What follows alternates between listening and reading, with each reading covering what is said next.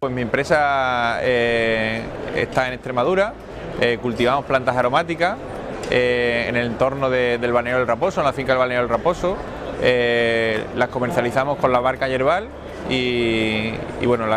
principalmente para infusión y condimentos. Quinto año que estamos, que venimos a, a Biofaz como visitantes, es la feria referente del producto ecológico, del sector ecológico en Europa y como no, teníamos que venir para, ver las novedades, eh, visitar al cliente y, llevar nuevas, nuevas ideas. Para nosotros es muy importante de que, de que Covalia participe en Biofaz, nos sentimos respaldados los socios de, Covalia, eh, de que tengamos a, nuestro, a, nuestra bueno, asociación eh, presente en la feria más importante que hay del producto ecológico en Europa.